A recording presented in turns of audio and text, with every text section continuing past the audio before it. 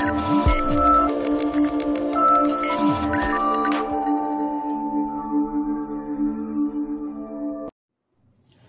friends, welcome back to our channel.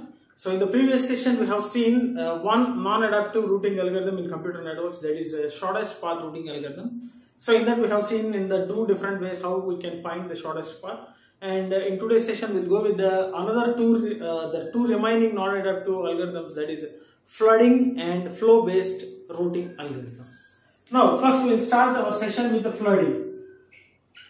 So very simple uh, routing algorithms, these two, flooding and shortest path. So first, this flooding is nothing but the broadcasting the message. It's a broadcast. Broadcast the packet. So what is meant by this broadcast? So what this broadcast means sending the link to all the neighbors. Sending the link or sending the packet to all its neighboring routers. So that means sends the packet to all outgoing links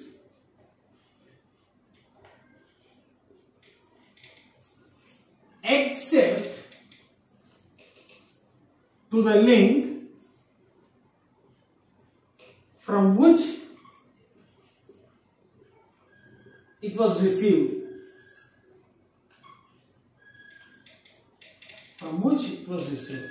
So we have to send the data packet to all the outgoing links except only one link that means from which we have received the packet. Right? So this is the only concept in this flooding. Just like flooding of water, right? So flowing of water. So this is nothing but a broadcast. So without uh, without considering any constraints, just sending the message or just sending the data packets to all the possible ways. See, let us take an example.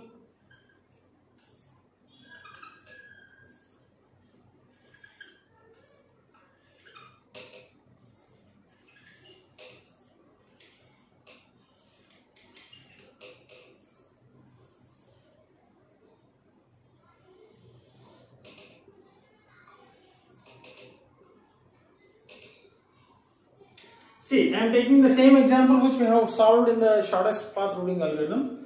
So, so now A is a source. See, A is a source and D is a destination. A is a source and D is a destination. Now A wants to send the data from, I mean, uh, the data should be sent from A to D. Now blindly, without knowing anything, just sending the data to its outgoing links. So here A is having two outgoing links. So A is having two outgoing links to B and F. Sorry. B and F. So A sends the packet to B. Similarly, A sends the packet to F. Right? Now, B is having one packet B is having one packet, F is also having one packet received. Okay, now B is having how many outgoing links? So consider one node at a time, one router at a time. Okay, now consider B. So B is having how many outgoing lines? So A, C, E. Three outgoing lines. Okay, A is having three outgoing lines. Now B received the packet from the A. Okay, B received the packet from the A. That's what we are saying. It sends the packet to all outgoing links except, so this is very important, except the, to the link from which it was received. So B is uh, the B receives the packet from A. So you need not go with the A. Just remove A. So B have to send the data to C and E. So B is sending the packet C and E. Now receives packet, C receives the packet. C receives the packet. Okay, this is the received packet. Okay, so square box means received. Received. Okay. Now coming to C. Coming to C. So C is having how many outgoing links? So C is having B, comma, F, comma, D. Three outgoing links. And we have to consider this except. So from where we got the packet to the C? From B. So just remove this B. We need not send the packet back to B. So C have to send the packet to F and D. So C sends the packet to F and C sends the packet to D. So here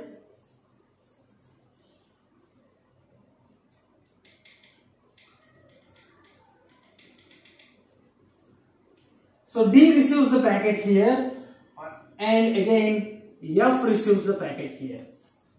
Okay. So C receives the packet here, F receives the packet here. Now D. D. So we, we need not go bother about D because D is the destination. So that means D will not be having any outgoing links.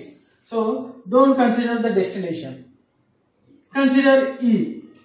Consider E. So E is having how many outgoing links? F, B, D. Okay, E is having the outgoing links F, B, D. But E is having the packet, right? E is having the packet. So consider this condition. From where we got this E, I mean packet? From B. So you need not bother about B. So send the packet here and send the packet to here. Right? So hope you understood this one. Next, F. Consider F. F is also having the three links that is A, C and E. So F receives the packet from A. So remove A. F also receives the packet from C. Remove C. F also receives the packet from E. Remove E. So F is not having any outgoing link, so F need not send the data. Right? So this is how we can apply this flooding. The only one concept that is just blindly sending the data to all the outgoing links. The main drawback here is you can observe clearly at the router F the same packet has been received three times and and the same packet of data is received two times at the router D. So that means the main drawback, the main drawback is getting duplicate packets. So a router can have the duplicate packets. Okay, so you can observe clearly that F receives three packets of same data. That means 3 duplicates. And again, D is receiving 2 packets of same data. That means again duplicates. So, this is the main drawback of uh, this flooding algorithm. So, in order to avoid this drawback, so avoid duplicates, use sequence number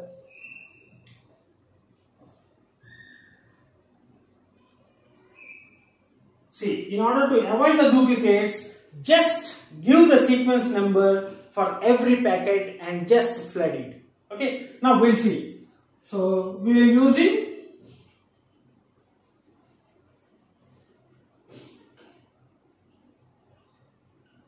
sequence number.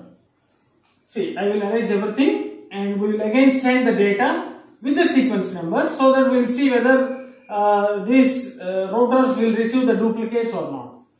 So we'll apply the same concept. We'll apply the same concept. So sending the packet to all the possible outputs except the one which it has been received. Right? So now A is having two two things. I mean two routers, neighboring routers.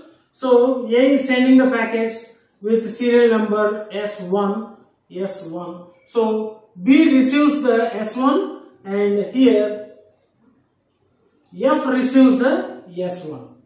Okay, so before receiving, the B will check whether the data has been received with the same serial number or not. So if not, then it will accept the uh, packet from the A. So now B is not having any packet, so B accepted the packet which is coming from A and also F is also accepting the same packet from B. Now B is having one packet and F is having one packet. Now same, B has to send to C and E. So B will send this packet with the serial number to C. Okay. So now C again checks whether uh, it is having the data with the same sequence number. No, it doesn't have any sequence number S1 so it accepts the packet from B. Again E. So E first it will check whether it is having the sequence number packet with the sequence number S1. It doesn't have so it will accept the sequence number S1. Right. Now C. So C have to send to F and D. C is supposed to send the data through to F and D because two outgoing links. There are three outgoing links. B we have to exclude the B because from the B itself we received the packet. So exclude the B. We are having two links that is F and D. Now C sends the packet to F. C sends the packet to F. Now F before accepting the packet from the C F checks whether it consists of the packet with the same sequence number. So it will check and it will having the same packet with the S1 which is received uh, from the A. So F will reject this packet which is coming from the C because this is also having the same sequence number and it is already received by the A. So it doesn't accept the packet from the C. And now C sends the packet to D. So D receives the packet S1 with the sequence number S1. So this is completed. Now E to F and D. E must send to F and E must send to D. So E will send the packet to F. So once again F checks whether it is having the packet with the same sequence number.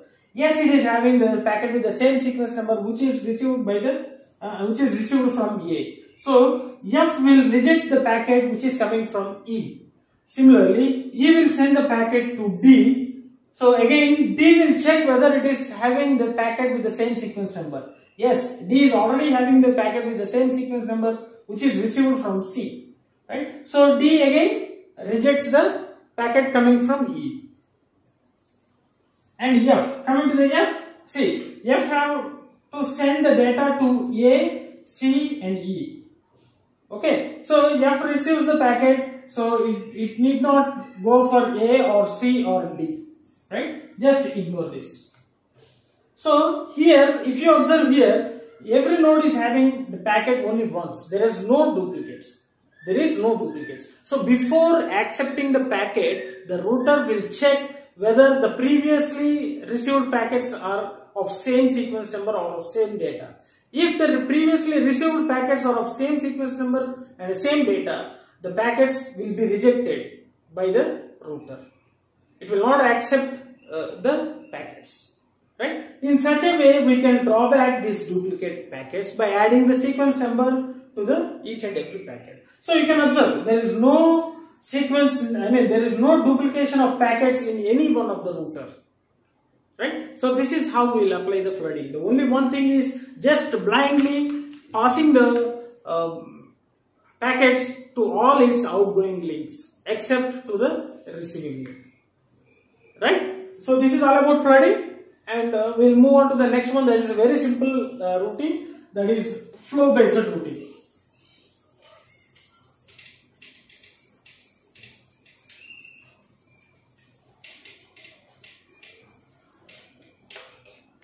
flow based routing.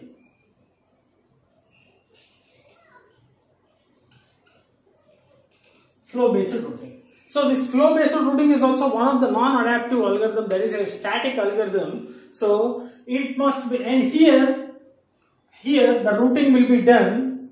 The routing is done based on two conditions. So one is topology, topology which the network is using and the second one is the load or traffic, load or traffic. So with, uh, I mean based upon the topology and the traffic, the data will be, the packet will be routed to the destination.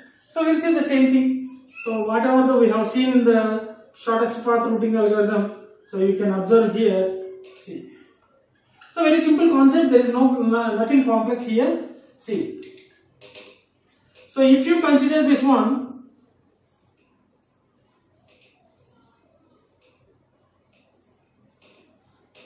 if you consider this one, so I think in the uh, shortest path routing we, we have seen, so there are many possible ways. So let us consider this is the source and uh, this is the destination. Okay, so source and destination. So packets from packets have to be sent from source to destination. There are many paths A, B, C, D, A, F, E, D, A, B, E, D, A, F, C, D. Okay, so likewise different solutions are there, different paths are there. Now we'll go with the shortest path. First we'll go with the shortest path. So we have seen the shortest path. So that is A to B to E and to D. So in the shortest path routing algorithm we have seen that so this is the shortest path with a given distance, right? So if if the path is having a heavy traffic, if the same path is having a heavy traffic, so we can change the path to the next shortest path. So if this is having a load, heavy load or heavy traffic in this path, that means A to B, B to E, E to D. If this is having a heavy load or a traffic, we have to select for alternate path, that means next shortest path. So moving to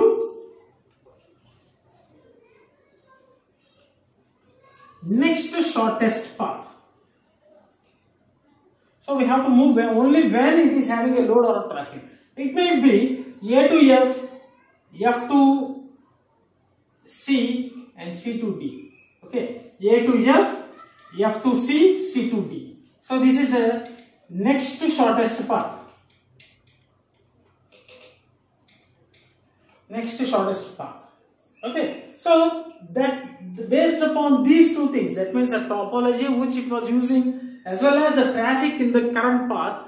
So it will change its route to different uh, way. I mean the next shortest path. It will select the next shortest path to reach it to its destination. So these two are the two uh, the remaining uh, non-adaptive routing algorithms, right? So flooding and flow based. So as these are all the static routing algorithms. These three are the static routing algorithms. So priorly, before starting the routing, before starting the routing itself, every node, every node should have an idea about all its neighbor nodes. So whatever the algorithm you are considering, it may be a shortest path or it may be a um, flooding or it may be a flow based. So as it is a static routing algorithm, whenever the network is booting up, the routing table or the routing path should be embedded in the uh, router. So that's why every router, whatever it may be, the three algorithms, whatever it may be, the every node, every router should have an idea about all the links of its neighbors along with this cost or a distance or something. We, we, generally call it as a function, right? So uh, both the link description as well as the function. So every node should have a clear cut idea about these, uh, the link, the neighboring links and the functions. Particularly in this non-adaptive routing algorithms, right? So this ends our non-adaptive routing algorithms. So if you are having any doubts uh, regarding these uh, non-adaptive routing algorithms, anyone, so if it is uh, in a shortest path routing algorithm or flooding or flow based, feel free to post your doubts in the comment section so, so that definitely I will try to clarify all your doubts. And if you really understood my sessions, like my session, share my session with your friends and don't forget to subscribe to our channel. So thanks for watching. Thank you very much.